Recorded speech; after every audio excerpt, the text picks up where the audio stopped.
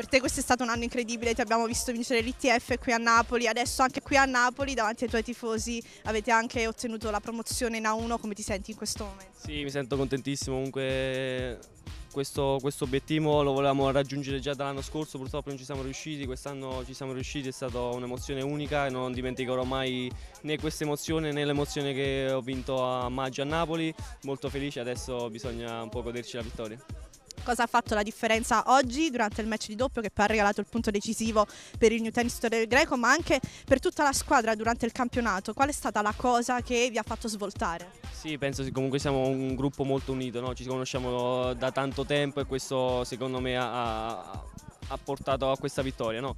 E poi comunque il doppio di oggi comunque ho giocato insieme a Skukor che come tutti conoscono eh, quest'anno ha fatto ottimi risultati a livello mondiale e molto contento e felice.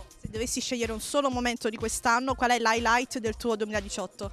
Beh, penso la prima vittoria, comunque la vittoria personale un, era un obiettivo che raggiungevo sin da piccolo e comunque l'emozione comunque vincere davanti al mio pubblico è stato sempre è stato molto bello. Sì. Un desiderio per il 2019?